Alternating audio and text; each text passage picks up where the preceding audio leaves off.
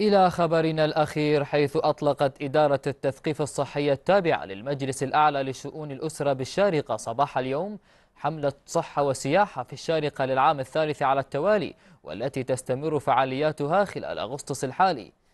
وتهدف الحملة إلى الترويج عن المواقع السياحية في الإمارة وضواحيها وما تقدم من خدمات تسهل على المجتمع اتباع سلوكيات صحية إضافة إلى ما تصبو له الحملة من توعية المجتمع بالسلوكيات الصحية التي تم... التي يمكنهم تطبيقها خلال جولاتهم السياحية في أرجاء الإمارة الباسمة إضافة لرفع مستوى الوعي بالخيارات بالخيارات الغذائية الصحية من مختلف المواقع السياحية.